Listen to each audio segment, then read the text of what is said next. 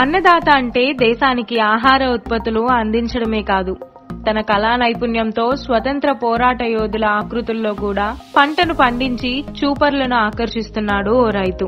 నేతాజీ సుభాష్ చంద్రబోస్ పై ఉన్న అభిమానంతో తన పొలంలో జూట్ పంటను నేతాజీ చిత్ర రూపంలో పండించాడు.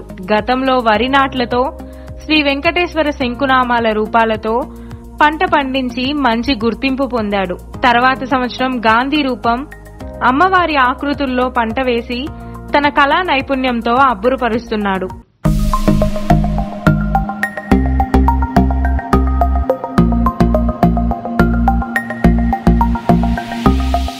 గుంటూరు జిల్లా తెనాలిలోని కొల్లిపర మండలం అత్తోట గ్రామానికి చెందిన బాపారావు అనే రైతు గత కొన్ని సంవత్సరాల నుంచి ప్రకృతి వ్యవసాయం చేస్తూ పలువురు రైతులకు ఆదర్శంగా నిలిచాడు. అంతటితో ఆగని బాపారావు తాము పండించిన పంటలలో కళా నైపుణ్యాన్ని ప్రదర్శించాలనుకున్నాడు. తొలిత వివిధ రకాల వంగడాలను వేసి వ్యవసాయంలో కొత్త అనుభవాన్ని పంచాడు. వ్యవసాయంపై నేటి తరానికి పూర్తి స్థాయిలో అవగాహన కల్పించాలనే క్రమంలో వివిధ ఆకృతుల్లో పంటను పండిస్తూ ప్రత్యేకత చాటుకున్నాడు. ఆ ఆకృతులను చూడడానికి వచ్చిన వారు పంట వివరాలను అడిగి తెలుసుకుంటూ తాము కూడా సేద్యం చేయాలన్న ఆలోచన కల్పిస్తున్నాడు రైతు బాపారావు.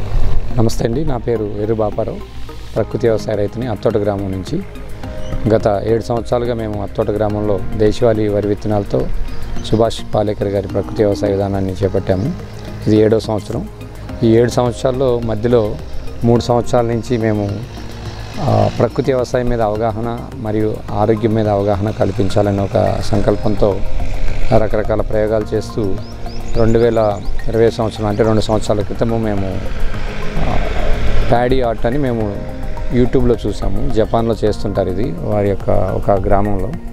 అట్లానే మనం ప్రకృతి వ్యవసాయం మీద అవగాహన కల్పించాలని ఒక సదుద్దేశంతో మేము రెండు సంవత్సరాల క్రితం మన అందరి దేవుడైనటువంటి గోవిందుడిది గోవిందనామాలు అంటే శంకు చక్ర నామాలని మేము పొలంలో వరి గడ్డితో నార్మడి పోయటం జరిగింది.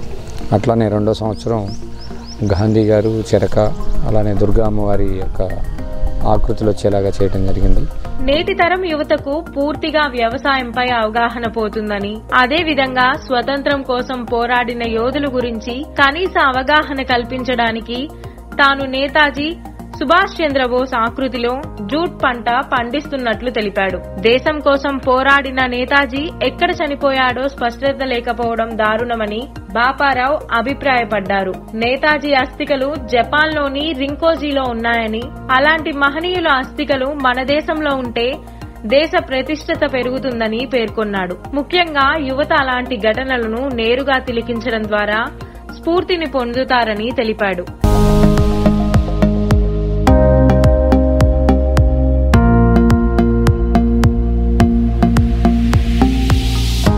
దేశంపై ఉన్న మమకారంతో ఆనాడు పోరాడిన యోధుల చిత్రమాలికలను పంట రూపంలో చూపించానని రైతు బాపారావు సంతోషం వ్యక్తం చేశాడు. అదేవిధంగా ప్రకృతి సేద్యం ద్వారా వ్యవసాయాన్ని ఏ విధంగా పండించాలో నేటి యువతకు తెలపాలనే క్రమంలో ఇలాంటి ఆకృతుల ద్వారా పంట పండిస్తున్నట్లు చెప్పాడు. నేతాజీ సుభాష్ చంద్రబోస్ అస్థికలను దేశానికి తీసుకువచ్చి ఆయన ఖ్యాతిని యువతకు తెలిపే విధంగా చర్యలు తీసుకోవాలని కేంద్ర ప్రభుత్వానికి సూచించాడు.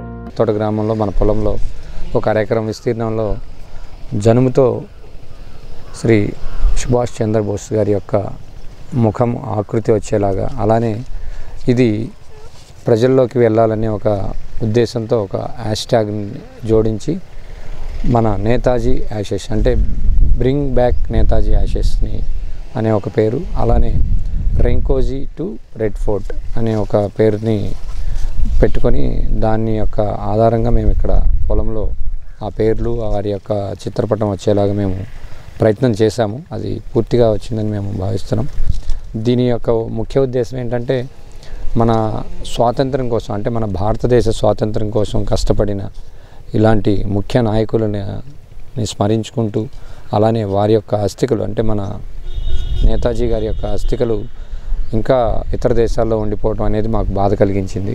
దాన్ని తిరిగి తీసుకురావాలి దాన్ని మన కేంద్ర ప్రభుత్వం వరకు తీసుకువెళ్ళాలి అంటే మీడియానే ప్రధాన కారణం.